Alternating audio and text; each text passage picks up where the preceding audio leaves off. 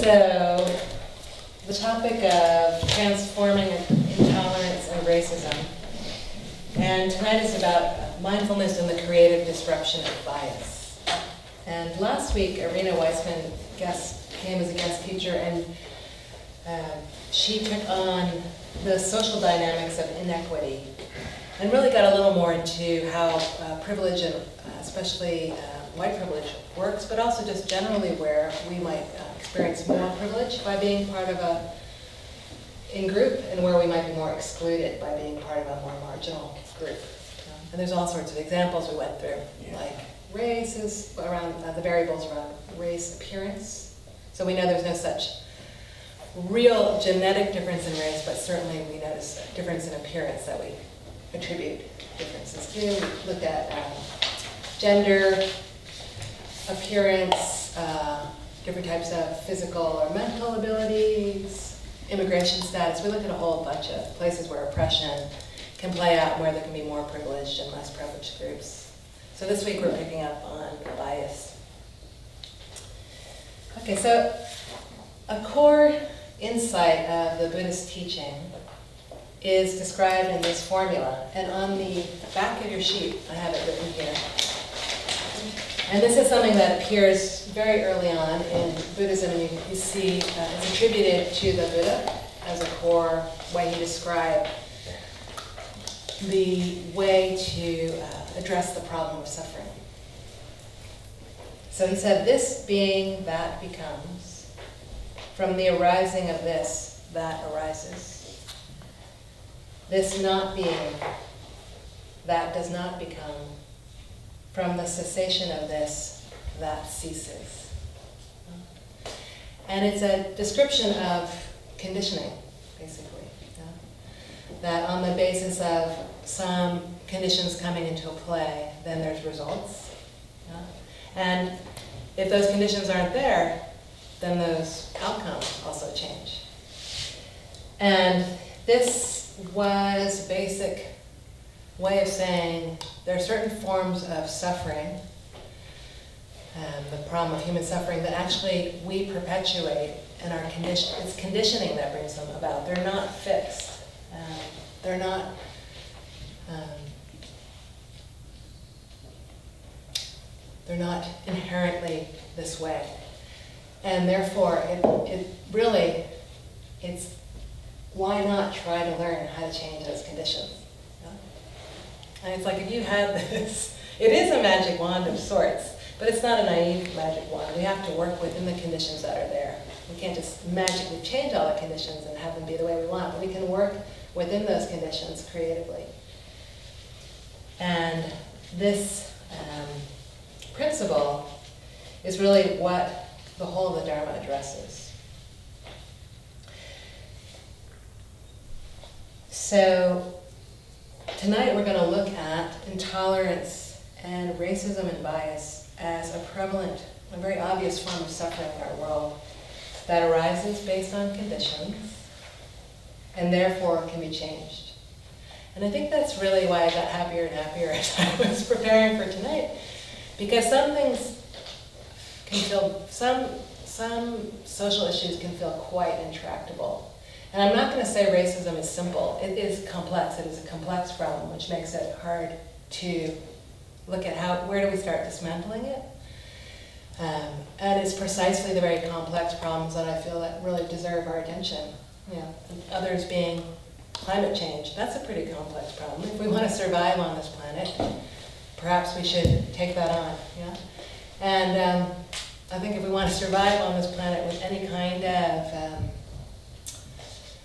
well, a world that, that we can thrive in, which is what we're looking at the meditation, we, we really need to take on intolerance. You know? And what kind of world are we creating? What kind of world are we creating to live in? So we all have creative agency in relationship, especially to our own hearts and minds. That's one place where we definitely have some creativity. So while we can get stuck by saying, I can't do anything. Uh, we are each instruments of change.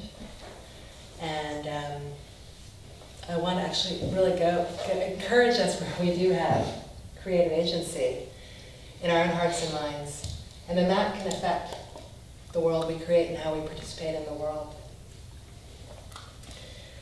Uh, I always like that the word for Buddha is, comes from a root that means awake.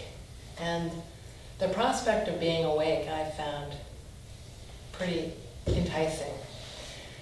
Uh, there's also the expression ignorance is bliss, so there is the pull to just not know, especially when things are complex. We can have, it just can be overwhelming, and uh, there can be the tendency just to shut down.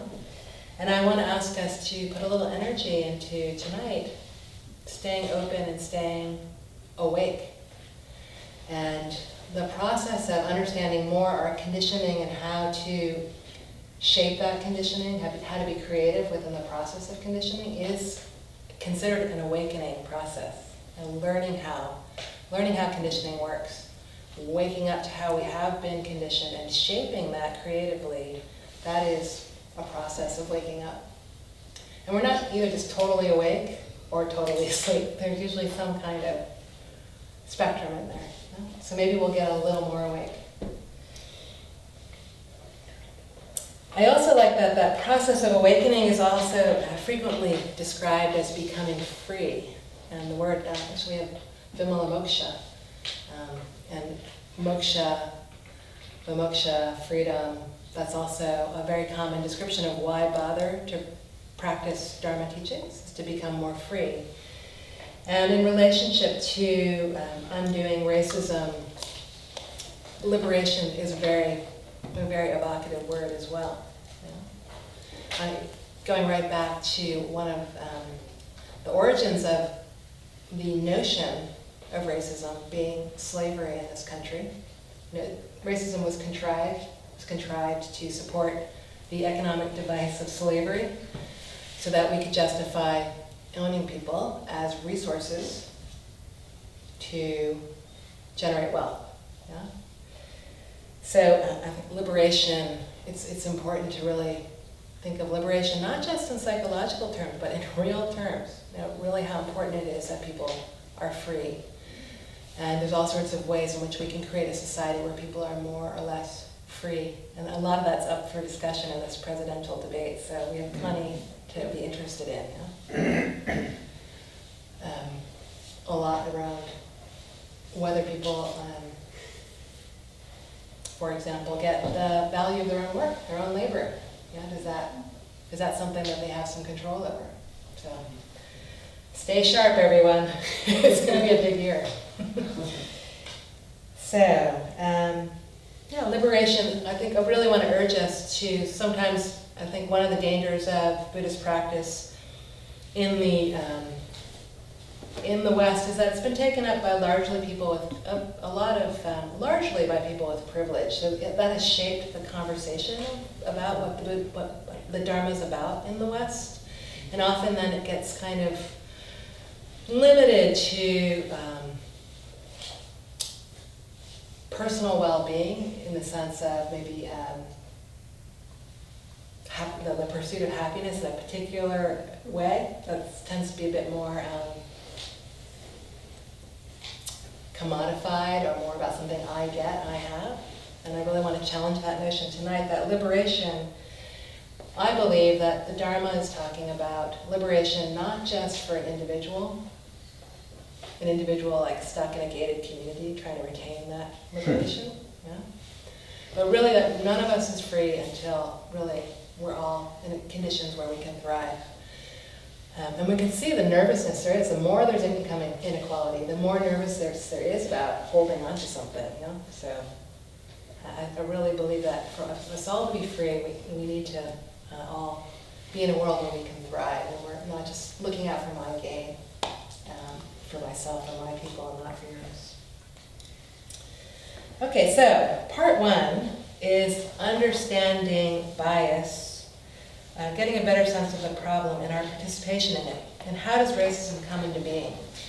So I was um, looking back at a lot of, uh, there's a lot out there. Actually, if you're interested in this topic, you really have no reason not to have plenty of resources. There's a tremendous amount of really good stuff out there. And looking at it all, um, I thought, oh, let's put it into this, let's let's try to put it into this formula, this being that becomes. So how does bias come to be? Yeah? So this is up for uh, improvement. so we're going to go through this, and I'm going to ask you what else you might see in terms of how the conditions come together. Yeah? So this is from a particular, uh, this one version is going to be a little bit more from a neuroscience view. And then there's some other, there's some other conditioning factors uh, that are not on the sheet I want to bring up. But we could look at it from, okay, so starting with the process of biological evolution being, you may or may not believe in that, but let's just say we take that as, gotta start somewhere. Let's say we say, let's take the process of biological evolution being. Then the drive for survival takes form, right? It starts to uh, become. And from the arising of that drive for survival, the human, our particular psychophysical organism evolves. Yeah? And it arises. And then the primate brain, or, or older brain, comes into being. And in that brain, um, the, there is the wiring for the fear and threat response that becomes. That's there. It becomes for when we're confronted with the unfamiliar. So it's a survival thing. Um, I saw a really great illustration of the brain recently. So uh, if you hold up your hand, this is the, the primitive brain stem you know, very early formation in our evolution. And the thumb is our limbic system. This is a very old part of the brain that generates the flight, fight, freeze, arousal when we need to run. Yeah. So that we can just tuck that in. That's there in the brain.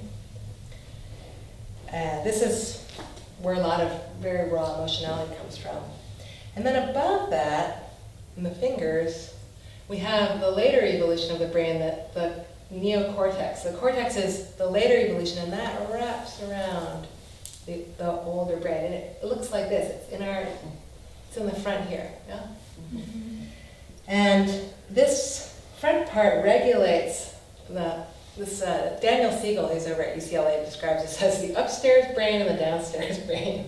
And the upstairs brain regulates the downstairs brain. So the upstairs brain is where we get uh, more complex functioning like planning, reasoning. Um, we can discern our emotions for what's wise. Yeah. So the upstairs brain helps regulate the lower brain. When we're agitated or stressed or confront the unfamiliar, the, um, the upstairs gets a little agitated, and we can actually get agitated to the point where, uh, Daniel Siegel calls it we flip our lid. we basically lose it. And this kind of discernment, this wise discernment gets lost. And we're, we're really down to like very primitive functioning. It's all about fight, flight, or survival. That's, that's what is functioning. Yeah? So you can probably feel this, right? As you start to get maybe in your situation. And for us, now this was maybe designed for more when you had to run for, from a mountain lion or something. But for us now, uh, psychological threats have take on the intensity as if our life is really dependent on it, right? So if someone starts telling you, I don't know, that you did something you didn't do that's quite serious, it can get pretty agitated and upstairs, right? And you can just start lashing out. Uh, yeah? Like, no, I didn't. You just like, you can get out of control emotionally. So that's you know, part of what we work with. Okay. So unchecked, the um, arising of survival motivated fear. So if we confront the unfamiliar, there's no working with that, then the limbic system, the, and especially something called the amygdala in there, starts firing. That's like anxiety, fear. Fear starts happening, mm-hmm. yeah? Like actually feeling like something bad is going to happen. Um, and from that, we can start to try to cope very quickly. This is all pre-conscious. I want to tell you, this is all pre-conscious. So, um, the, cat, the sense of us, me in here and the threat out there starts to form yeah, when, when we go into this fear response. And what's interesting is um, this can happen in one-fifth of a second. This is a pre-conscious response of what is me or uh, like me, the, the safe, and what's unsafe. Yeah? And um, pre-consciously, what we go for is what's immediately available, which is physical data. So physical appearance, we start to attribute categorization to, which is why race becomes so apparent race, color, um, physical appearance becomes very quickly something that we then divide around. And then, um, from the categories of us and them, all sorts of associations that have been pre-learned come flooding in. So all this is, again, pre-conscious. You may be somebody that um, consciously thinks all people should be treated equally. And if you're confronted um, in a stressful situation where you feel unsafe or it's unfamiliar, you might start having this all start happening. Yeah? Then all the associations come in. Well, where do these associations come in from? Well, images we've seen through the media, which if you, if you take, a critical look at media, they're very biased images, yeah? Um, where people have certain um, racial groupings, apparent racial groupings, you know. Uh, how many, you know, how many times do you really get um, well, you can even see it like with Jeremy Lin, the, the basketball player, how much, uh, Asian basketball player, how much um, media attention was, was really about like the cognitive dissonance that this Asian guy could be a basketball player, right? And all the kind of um, messages around that. Or in uh, messages we get like with Hurricane Katrina, yeah?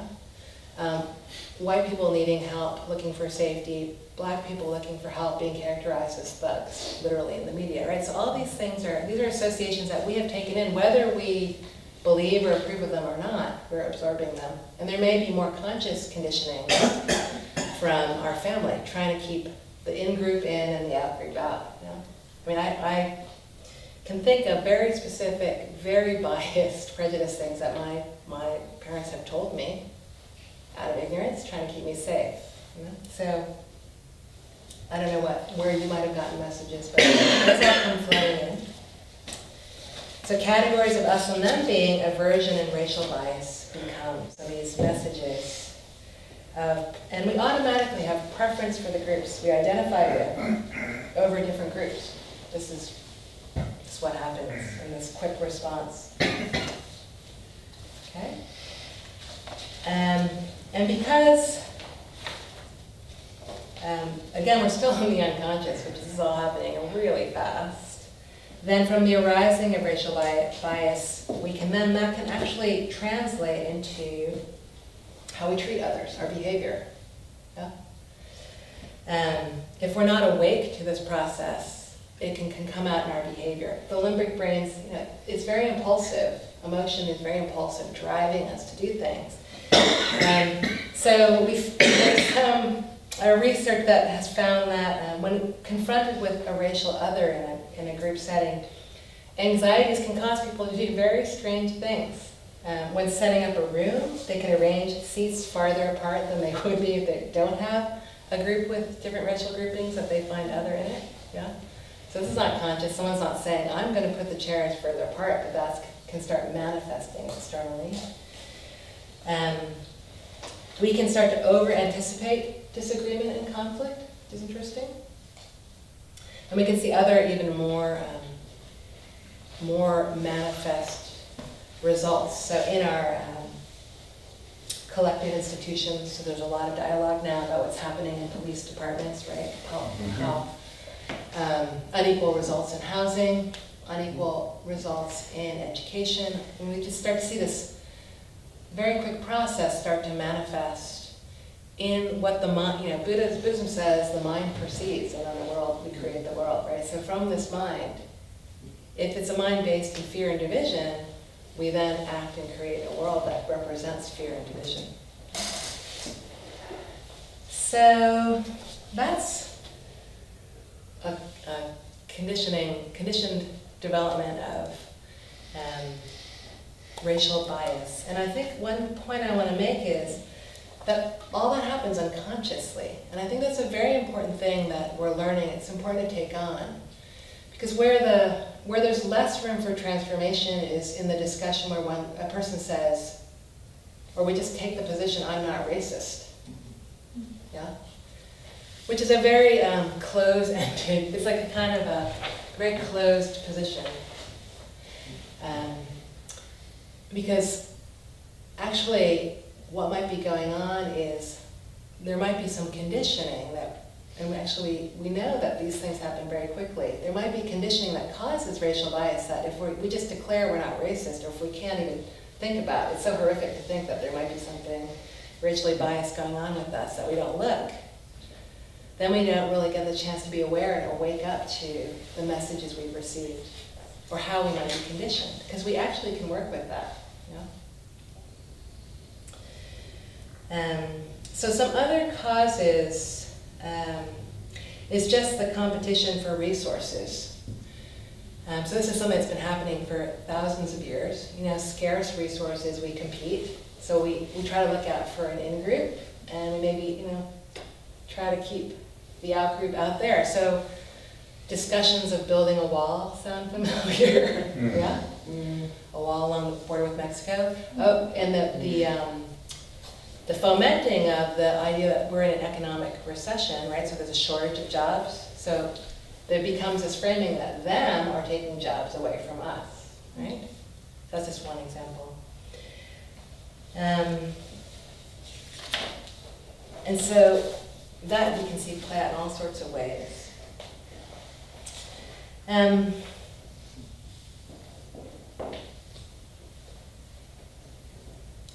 I think these days what we're getting, and this has been pointed out a lot, we're getting a lot more, the kind of transformation we can do is in the area of unconscious bias. Um, John Powell, who does a lot of writing on bias, talks about how um, there was an old, an old version of explicit people saying uh, like really racially charged things without a thought, right? Um, and an old, old order of racial discrimination is very explicit and consciously hostile towards the other. At this point, it's not that that doesn't still exist. Actually, people have been saying that um, it's interesting how that can so easily re, re become fomented if there's some inflammatory um, instigation. It, it, can very quickly come up.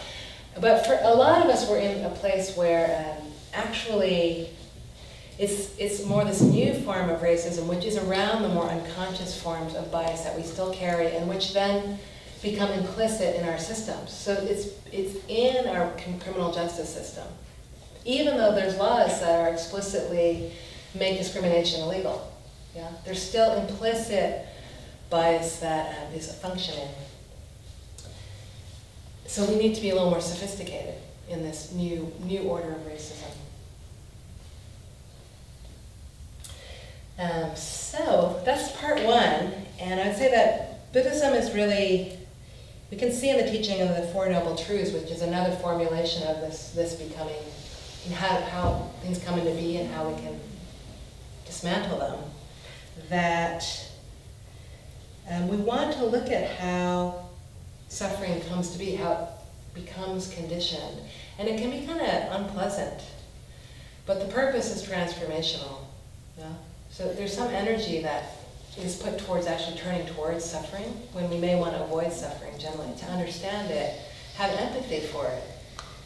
Um, you know, what don't, I, don't, I don't believe that anyone, I don't know, this might be um, I can't know it's another, everybody, every single person's mind, but generally I would like to say that I don't think people, their, their intent is to create suffering. I think their intent is to be well, and therefore they go into these strategies, you know, like trying to watch out for my own, me and mine, right? Um, I don't know if they're, uh, you know, abject cruelty comes quite far. There's a, there's a lot of distance between just abject cruelty and misguided strategies. Mm -hmm. um, yeah. So I just want to say one last thing about this turning towards this dynamics of, of being curious about how research is really showing about that unconscious bias is really very much at play with us, is the notion of color blindness. And I think Buddhists are particularly susceptible to the notion of color blindness. I've, I've heard people use this I'm beyond duality kind of stance as a way to avoid the whole, just basically discount that. Oh, why should we even be talking about racism. That just, or if we talk about racism, we're just creating racism, which is, I think, a rather simplistic statement. Mm-hmm. Um, so, like, just looking at the Four Noble Truths, we want to look at there is the truth of suffering, which is in the form of racial discrimination. It comes about as a result of conditions rooted in ignorance. That's classic Dharmic practice. Um, what we're finding in research is that color blindness causes people not to look at the dynamics of racial bias and therefore to be inactive about it. And I guess there's a hope that if we don't say there's racism, it's kind of like magical thinking. If we say there's no racial bias functioning, it just won't be functioning or something. I mean, I wonder what the logical conclusions of that are. One would have to think that through. Um, but also, uh, we know that as young as six months, children do see apparent physical difference. So they see race. And what we can do is wake up to not um, just categorizing and stereotyping groups of people, having one person represent a whole bunch of our fantasies about them, a whole group. And by waking up to that, we can transform.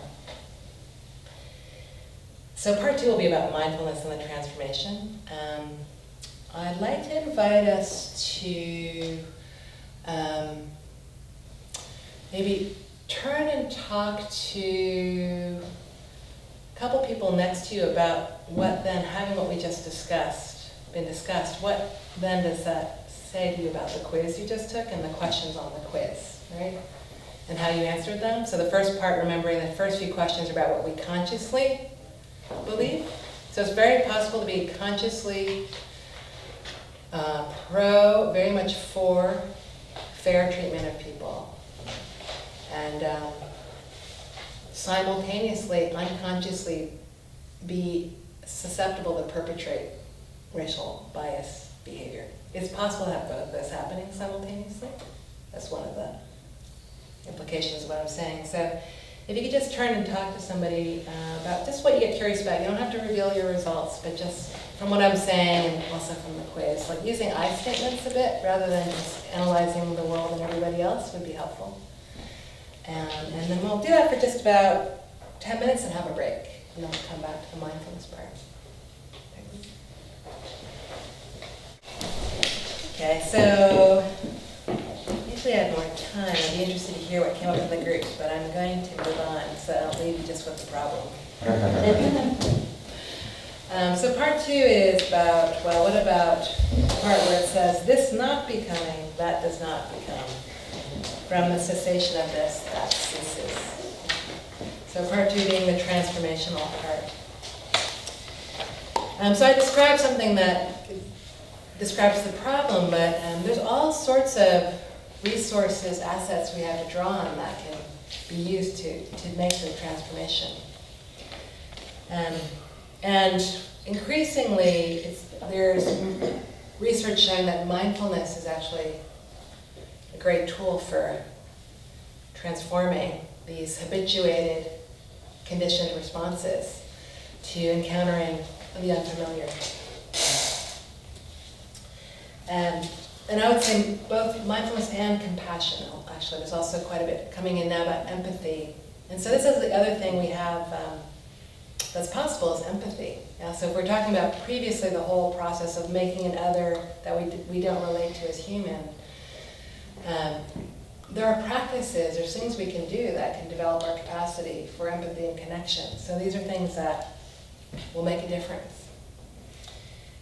So one most important thing about mindfulness that gets described is continuity of purpose. Um, so in the midst of a world where there's a lot going on, to have some sort of vision or purpose for the kind of world we want to help create or um, the kind of person or contribution we want to make as a person that we, we can grow into. So if what, what's been found is if we actually have take on some intent to undo bias, we'll have a better chance at obviously undoing bias. um, we can't stop bias from emerging. As I said, it's a, it's a conditioned response, but we can shape the conditioning that can then shape how it starts to show up. We can actually, we can actually change what shows up, and I, I know this for myself. Um, it helps to have support, but you can, there's always things you can do with your own heart and mind. And I'm going to talk about some things. And next week, we're actually going to have a little more experience of making some shifts, um, especially in this process of when we get a little bit activated, how to pivot to a place where we have more calm and we can respond more creatively. And yeah. So if we have some continuity of purpose, we can stay awake to, especially when we're walking into situations where we might be encountering difference, to stay awake in that process and notice what happens and, and more creatively, you know? notice what's happening. So mindfulness can be practiced at different levels, and there's one level is the personal, and then there's more interpersonal awareness. Uh, and again, I think sometimes uh, the way Buddhism gets taught or Dharma tools get taught, it's very much interned. And there's much more power to mindfulness about how we relate with each other and in the world. And I feel that um, if you're going to make full use of the tool, that's it's good to expand what the tool can do, the power of mindfulness. But just to start with, it's quite something to start at the, in the personal ecosystem, being aware of the body, sensations, emotions, and thoughts.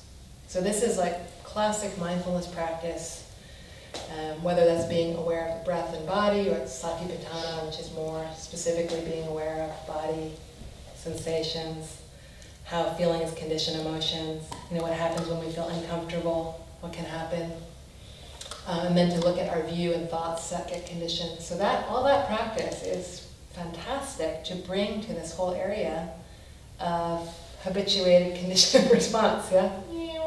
Mm-hmm. Um, when we're encountering the unfamiliar.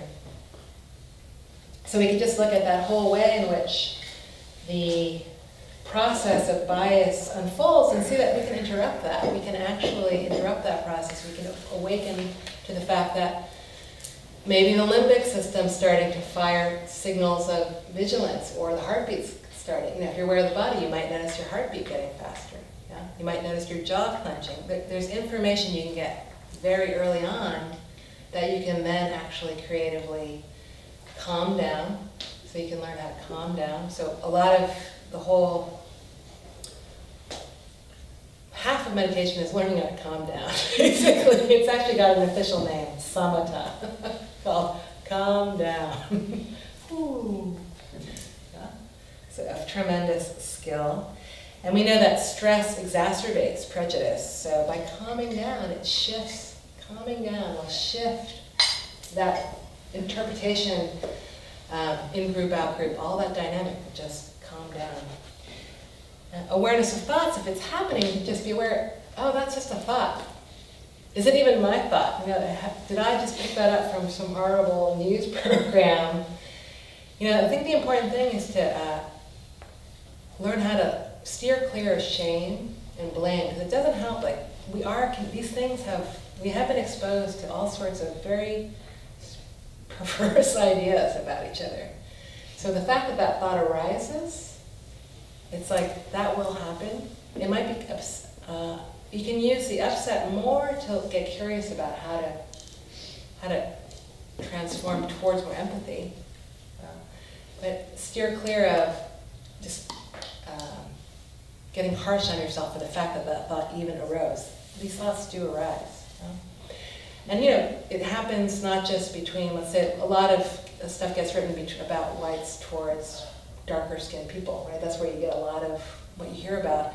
But within groups of people of color, it's the same dynamics going on. Um, and uh, there's an article, uh, a friend of mine, Rona Fernandez, wrote a piece in this um, anthology that was really beautiful about this, about how she's working with it. Um, I have it here. Yeah.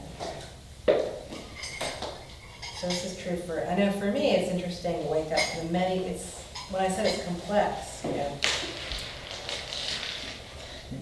it's these kinds of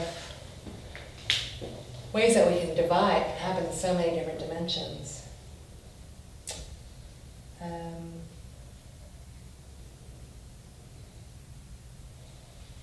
So she says, as the American-born daughter of Filipino immigrant parents, I've struggled for years to overcome the various forms of racism at play in my life.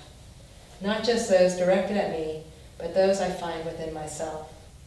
I've found that overcoming my own internalized racism has been my first step towards a, less, towards a life less constrained by race. For many people of color, this type of racism is subtle but powerful, affecting our self-esteem in ways we are often not even aware. And it's not just about accepting ourselves, it's also about accepting our differences with other people, including other people of color. And um, this, it's in this book, Are We Born Racist? New Insights from Neuroscience and Positive Psychology. And she's got a beautiful piece called Me and My Nose, Joanna Fernandez.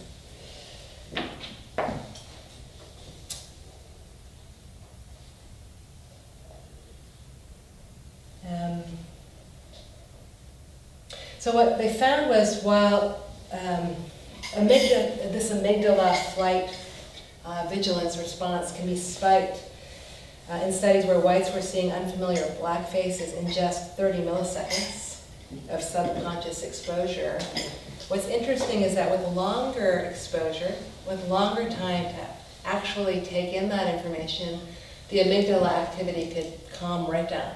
So that's kind of interesting. So yeah, we have this conditioned response, but if your purpose is actually to see a human being as a human being, not as this associative category of uh, otherness, actually that can calm down and it's just, it's possible to shift that reaction in 525 milliseconds, which is when we start to become, when the consciousness comes in, which is very encouraging.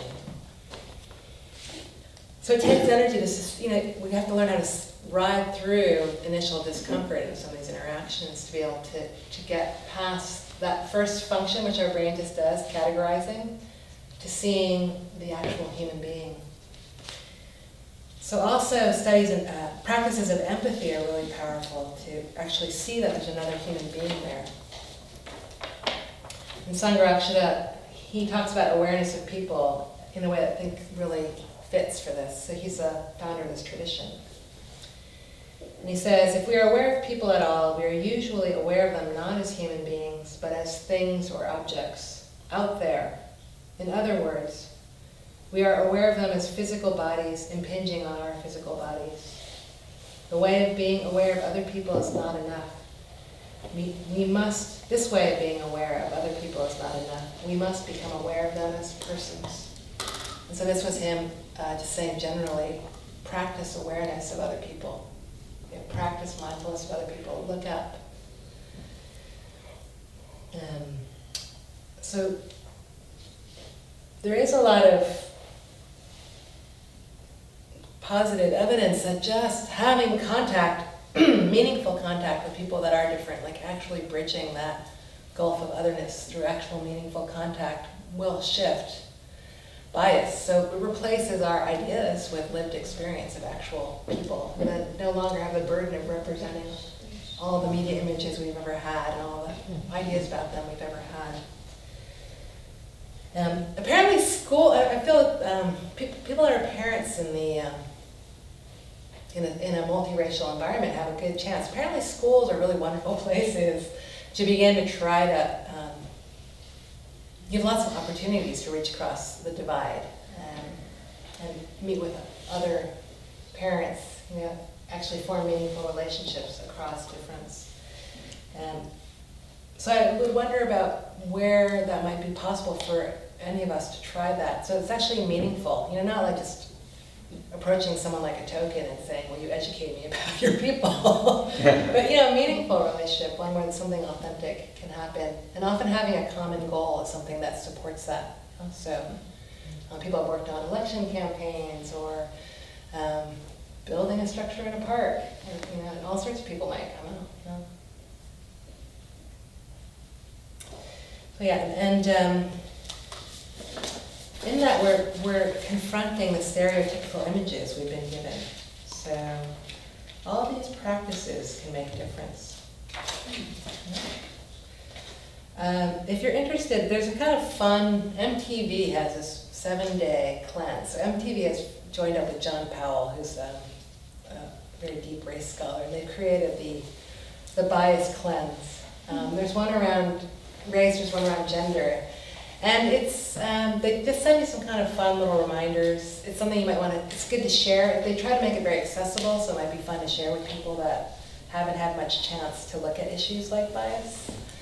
There's little quizzes you can take. Uh, there's a really great implicit bias quiz that I would recommend you take if you've never taken one before. It can be very instructive about how we do whole unconscious bias.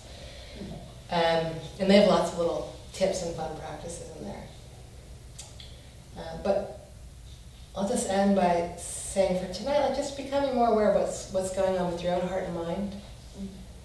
Looking to calm it down, get curious with empathy about who is this, who is this other human being across any kind of difference.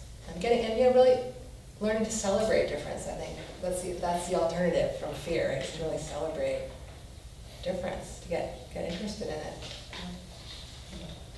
What an amazing thing that we're not all exactly the same.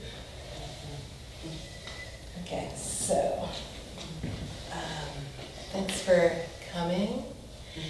Um, it's it's a couple minutes past nine now, so I wonder, and respecting people's time. So I wonder about ending with just a dedication of merits. And I'm happy to stick around if people want to talk a little bit more. We can, but the people that need to go can feel free to go. I'll just take a moment to dedicate the merits which is just a way of sharing anything good that might have happened with all meetings.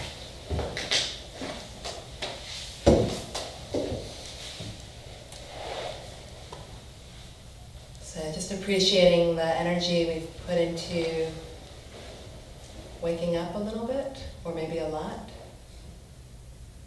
around how the suffering of racial bias perpetuates. Just appreciating any curiosity you've brought, just the fact you're willing to be here.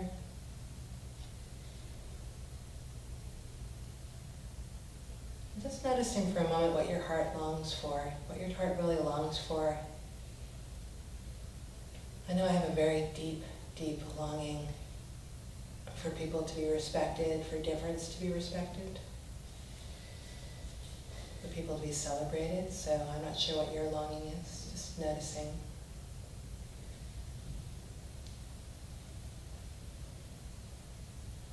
And may that be nourished, that longing, and may it benefit many, many beings.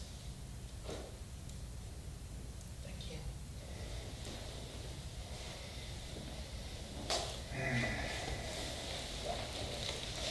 Anybody wants to stick around, we could, uh, around for another ten minutes or so. Oh, and there's an announcement.